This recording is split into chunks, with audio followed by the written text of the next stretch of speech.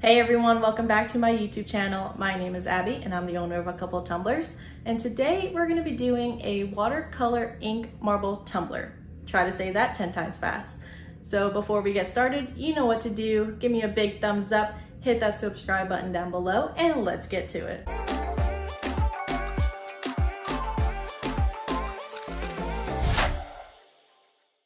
For today's tutorial, you're going to need a tumbler that is spray painted white. I use Rust-Oleum spray paint. You're also going to need 91% rubbing alcohol, alcohol ink, and for this tumbler, I'm going to be using the color Gumball by Tim Holtz. And lastly, you're going to need a small paintbrush. I'm going to pour a small amount of rubbing alcohol in a medicine cup and shake up my alcohol ink and get started. The first thing I'm going to do is drop a small dot of ink onto the tumbler. You really don't need much ink for this design since you'll be watering it down with rubbing alcohol. Next, I'm going to dip my brush into the rubbing alcohol and dab off any excess onto a paper towel and spread the ink around the tumbler. I like to create lines when spreading the ink as it gives me a guide of where my marble veins will be.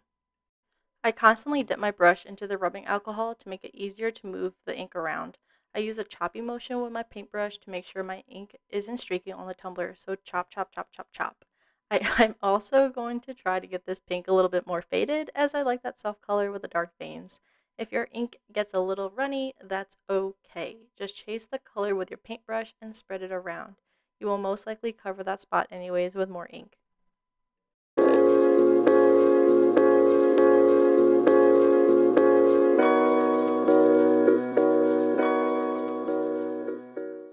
Once you get the shade color that you like, drop another dot of alcohol ink and repeat the process. You want to cover your entire tumbler with color. If it starts to look a little crazy, don't fret, we can come back and fix it. Also, when you are spreading your ink around, try to move your ink in one direction, so that way the ink will gather up and create a vein.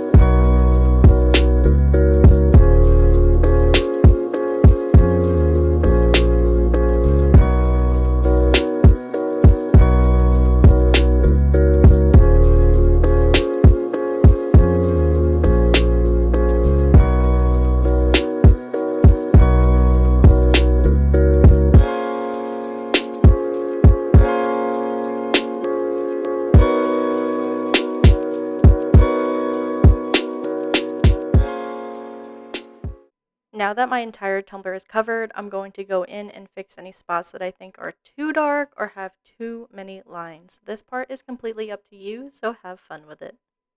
And when you have your look all done, you can also add some flakes to it. I have rose gold flakes that I'm going to be adding to this tumbler.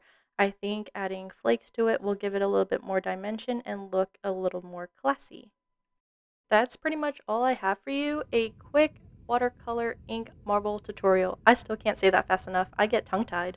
But this design can be done using multiple colors. My first one I used blues and purples and it came out super pretty. I hope you guys enjoyed this video and don't forget to hit that like button and leave a comment down below if you have any questions or have something that you want to see. I'll see you next week. Bye guys!